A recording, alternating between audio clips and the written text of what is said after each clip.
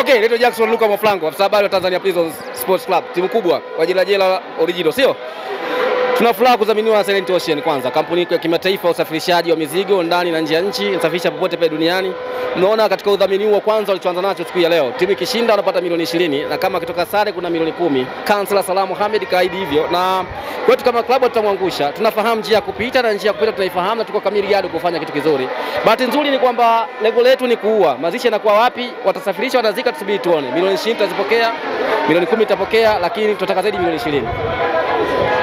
Sema mdhamini wetu mkuu kansela Salah Mohamed kutoka Silent Ocean ambao ndio wasafirishaji wa mizigo wasafirishaji wa kimataifa wa mizigo ambao wanafanya kazi kubwa kisha kuja kuleta mzigo huu na kuiwekeza ndani ya Tanzania Prisons. Ndio tumeanza, ndio kwanza, ndio mechi ya kwanza tunavaa na uzi wake. Tumependeza, sio fresh, sio iko vizuri basi sawa.